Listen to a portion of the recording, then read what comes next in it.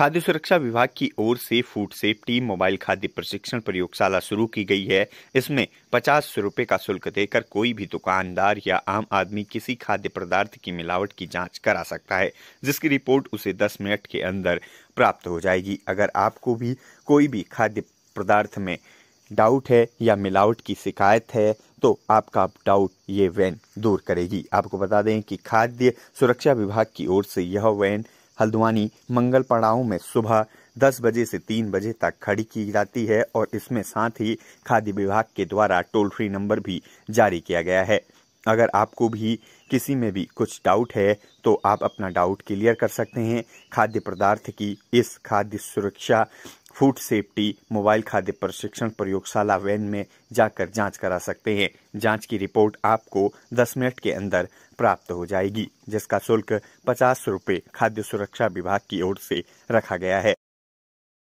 उत्तराखंड सरकार की मोबाइल खाद्य परीक्षण विश्लेषणशाला उत्तराखंड के विभिन्न स्थानों में जाकर जगह जगह जो है, खाद्य पदार्थों के सैंपलों की जाँच कर रही है।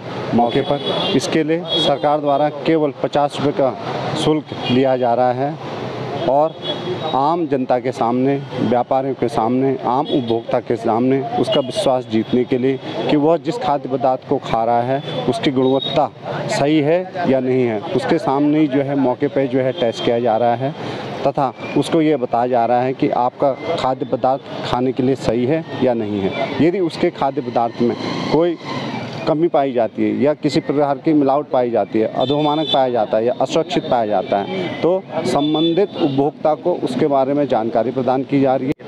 नैनीताल ज़िले में जो है लगभग चार दिन से जो है विशेष अभियान चलाया जा रहा है, जिसके तहत जो है हरद्वानी शहर में कालाडूँगी में, रामनगर में तथा अन्य क्षेत्रों में जो है चार दिन से लगातार इस मोबाइल विश्लेषणशाला के माध्यम से लगभग 150 से ऊपर सैंपलों की जाँच की गई है।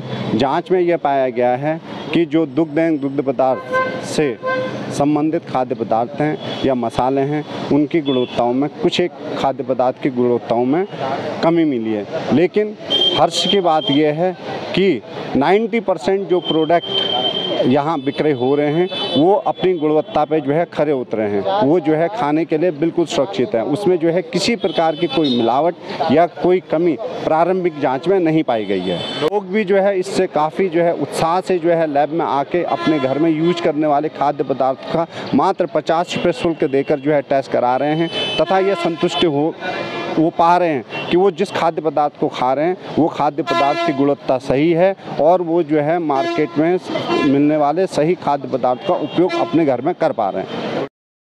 हल्द्वानी से लोकल एटीन के लिए पवन सिंह कोवर की रिपोर्ट।